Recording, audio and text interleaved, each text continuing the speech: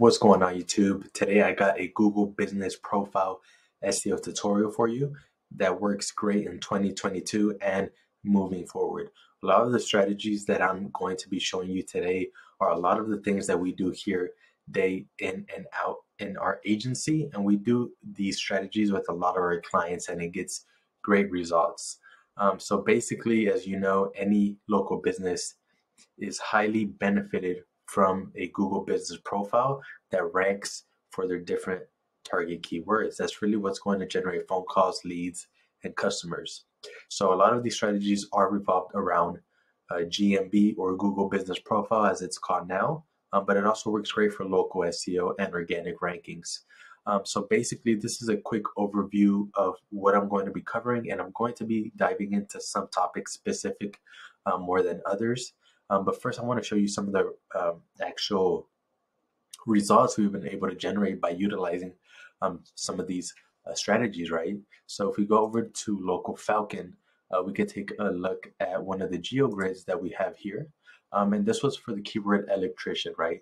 Esteves Electric, which is a uh, electrical company out of Allentown, PA. Uh, shout out to Christopher over there.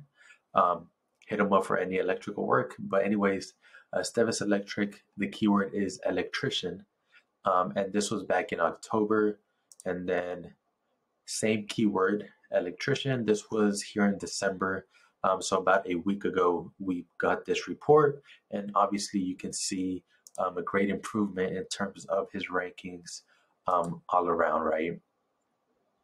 Um, so that's one keyword. And then electrician Allentown. So this was what it looked like um, kind of when he started with us, um, or at least that first month in October 25th.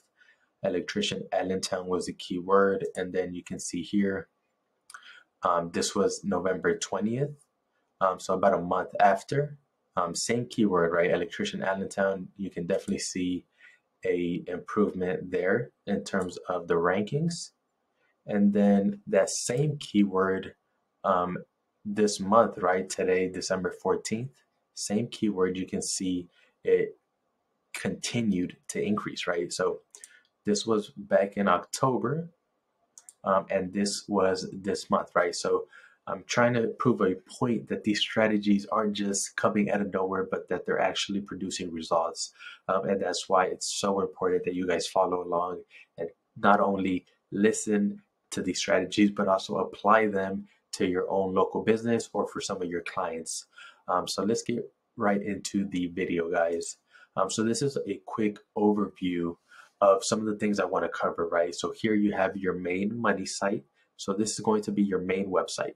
Whatever your main website is, is basically the hub for the entire strategy. And this is why whenever someone comes to me and says, Can you just work on our Google My Business or can you just work on our website and get us to rankings? I tell them no. And I turn them down um, because I will not bring on a client if we cannot work on both the money site and the Google My Business at the same time because it's very important, at least in the way that we conduct our campaigns. So everything starts with the money site. Obviously, you want to make sure that the money site is optimized properly um, for the you know your main keywords or your main categories. So whatever your main category on your Google My Business is, you want to make sure that you have that within your header one, your title tag, and throughout the content of the of the actual homepage, right?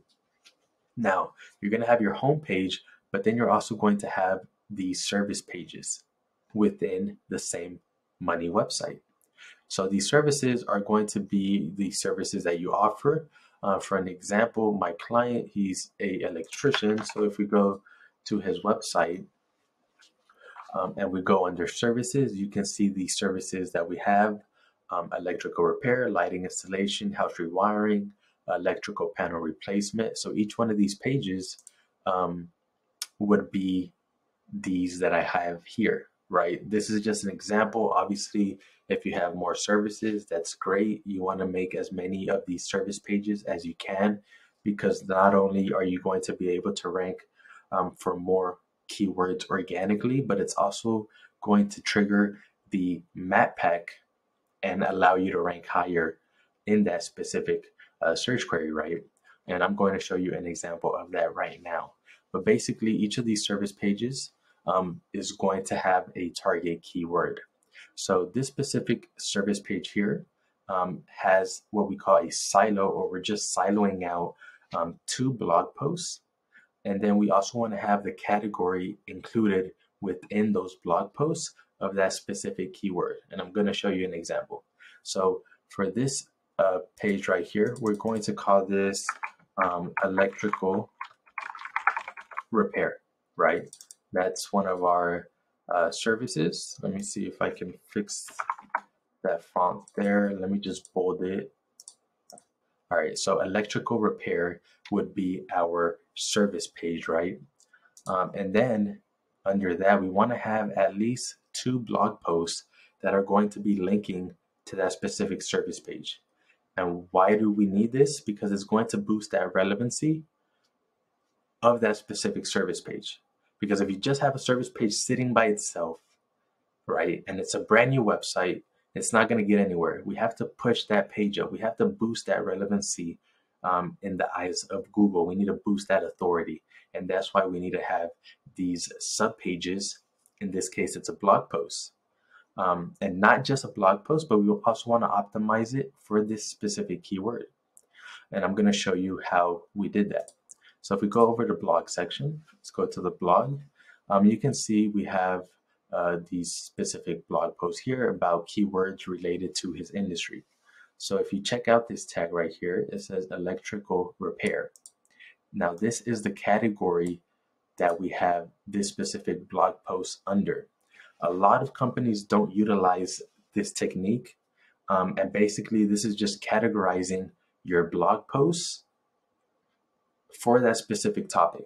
So each blog post essentially could have its own uh, topic, and that's kind of you want to kind of create a cluster of uh, subtopics, right? So, for an example, this blog post here is about electrical repair, um, and here we have another one about electrical repair. So basically, these two blog posts are what we want to use in this example right here. So one of our blog posts is going to be linking to our main service page. And then our second blog post is going to be linking to our first blog post, right? And I'm going to show you that right now. So this blog post right here, how much do electrical repairs cost, right? Um, and then we go into the content here, um, very nicely written. Um, but the main thing you want to do here is, so this blog post is this box right here. Now what we want to do is we want to link to that service page, but we also want to link to our GMB with this specific keyword, electrical repair, because this is going to allow us to show up in that map pack for electrical repair city, right? And that's going to be our main goal. And that's actually what we did with the client. So if we do electrical repair, his city, you can see he actually ranks here, number one. Um, and that's going to be because of some of the strategies that I'm going to cover um, in this video. So if you guys are following along, we have a service page, two blog posts, and then at the very bottom, we have a GMB post. Each blog uh, post should be linking to the GMB. And then each blog post should also have the specific category that we want to rank for. So if we go back here into WordPress, you can see we have electrical repair in the URL because that's the category that we chose. And you can do this very easy using WordPress. Um, if we go into edit post, this is where we can find how to add a category. Now, this strategy is going to work better if it's a new website because if you're a if your website is older and you already have a lot of blog posts, adding categories is going to change the URL structure. And if you're already ranking for specific um, keywords with the blog post. You don't want to mess with the URL structure um, unless you do 301 redirects. But um, it might just make a mess. So this is more so better for newer websites that are just starting out. Um, that way you don't have any technical issues later down the road. Um, but if you look at this right hand side, you see the permalink and then categories. So in the category section, this is where we want to include that main keyword.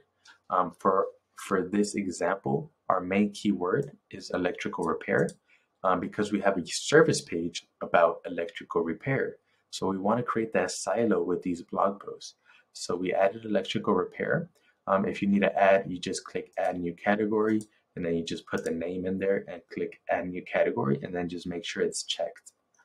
Uh, but once it's checked, in order to make sure that um, the category shows up in the actual URL, if you're using WordPress, um, let me show you how you can actually do that.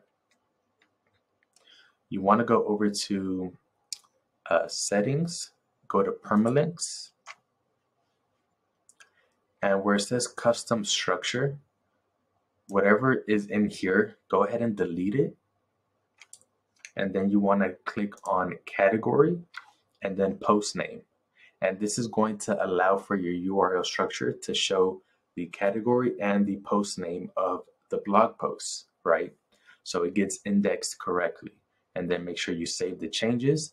And now you should be able to see the category in the URL structure whenever you create a new blog post. So let's take a look at this blog post, right?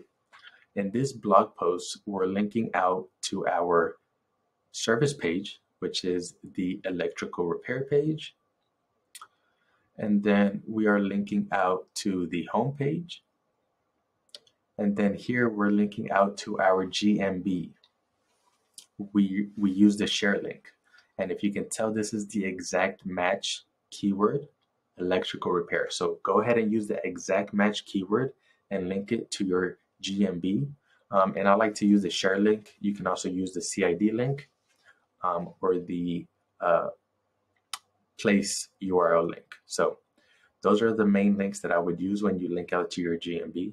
Um, but for this specific blog post, I just use the share link. So if I just click on this, you can see it just pulls up directly their GMB. And that's what you want to do. And that's really all it is. You want to have your blog posts linking out to your GMB and then linking to your other blog posts in that same silo. And let me show you using the other example. So this is the other blog post in the same silo. Electrical repair, again, we're using that same keyword, exact match keyword that we want to rank for, linking out to our GMB.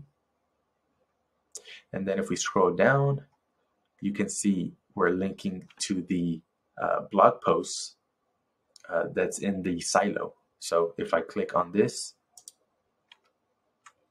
it's going to take us to the other GMB under the same category. And that's what you want to do. You could you could have three, four blog posts, um, but for this specific uh, client, we only needed two. Um, but you can do more. You can do. Uh, I wouldn't do anything under two, but really depends on how competitive um, the key phrase is. But that's going to allow you to rank um, for a lot other keywords. So that's basically what that means, guys. And then finally down here, you want to have a GMB post.